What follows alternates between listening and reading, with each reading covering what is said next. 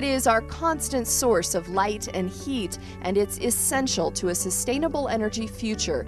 The National Renewable Energy Laboratory in Golden, Colorado is a global leader in developing cost effective solar electricity.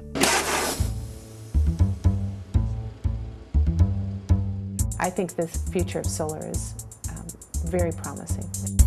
NREL's team is the power behind internationally recognized advancements in photovoltaics technology. Successes depend upon the talents and the abilities and the innovation okay, of the scientists and the engineers in this organization.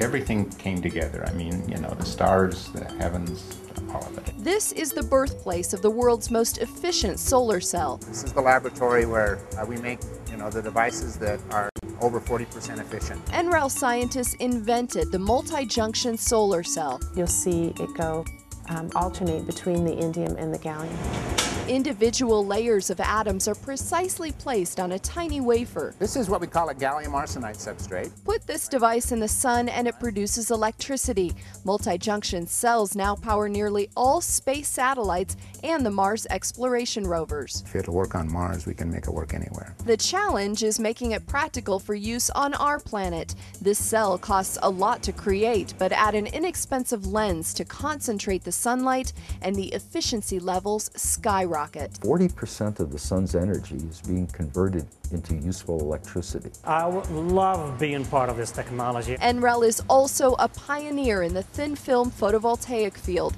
Extremely thin layers of semiconducting materials are deposited on the support structure. And that support we call the substrate. This technology is much newer than the more common silicon cells, but it also promises to be more cost competitive because thin films require less of the light absorbing materials to generate electricity. That's where we grow the heart of the solar cell. Thin film efficiencies are close to 20% in the laboratory. This is a remarkable efficiency, by the way, for polycrystalline thin film material or for this class of materials. Solar cells are used outdoors and the element's durability is a must. We want these solar cells to last for a long time. 20 years or more. Many of the manufacturers are now looking to thin films to try to decrease uh, the cost of making the modules. Industry partners send their photovoltaic systems to NREL. Welcome to the outdoor test facility. To see how they endure rain, snow, hail, dust, and the passing of time. Their output is decreasing by about 1% per year. Some of the modules monitored here date back decades. Others are newer developments. NREL's solar array field is striking to see. This is about 1100 watts of uh, array right here in front of me. It's one of just a handful of test facilities like it in the world, a place where engineers analyze photovoltaic products from solar streetlights to shingles. These are a couple of examples of roofing products. To make sure they perform. If you had an energy efficient home, you'd need probably two to four times this amount, this size array in order to offset your entire electrical needs. We look at all sizes, shapes, technologies, you name it, we've measured it. When you're talking record-breaking solar cells, accuracy is everything. The first thing we do is we measure the area. NREL's Performance Characterization Lab verifies photovoltaic efficiencies. The efficiency is defined as the maximum power. It also looks for imperfections. The shutter just opened up and you can see a probe making contact to the cell.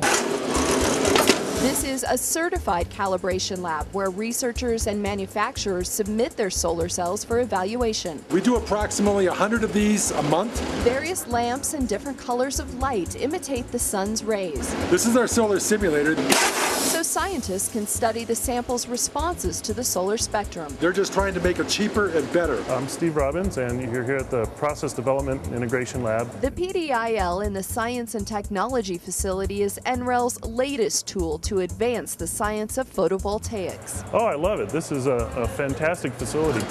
The technology here allows scientists to deposit layers of a solar cell, do their research, without exposing the sample to air. The ability for us to move this uh, six inch sample from machine to machine and completely under vacuum is actually unique in the world. You will not find anything else like this anywhere else. A robot in the center of this steel chamber shuffles the samples through the various steps. The vacuum pod is vital to this process. Here, we're actually trying to protect from molecular level contamination. The pristine environment is critical because an entire photovoltaic stack can be just a micron or two. A human hair is roughly 80 microns. Gases can react with the surface. Even a speck of dust can contaminate a sample. Manufacturers are taking advantage of the PDIL to improve their solar cells. Many scientists, they see it and they're just awed. They're amazed. They're like, oh, we need that.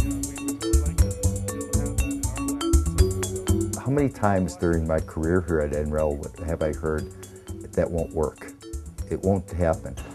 Overcoming obstacles, pushing new horizons, NREL's Center for Photovoltaics is rising to meet the next challenge to make the cost of solar energy competitive with other electricity sources by the year 2015. It's going to be more than competitive. Capturing the light from the sun, converting it to low cost electricity. Now we're working on four junction solar cells. Um, with efficiencies that could go as high as 50%. The next generation of solar power is dawning at NREL. These are all technologies that are revolutionary technologies. These are things that, that are beyond what people could even think.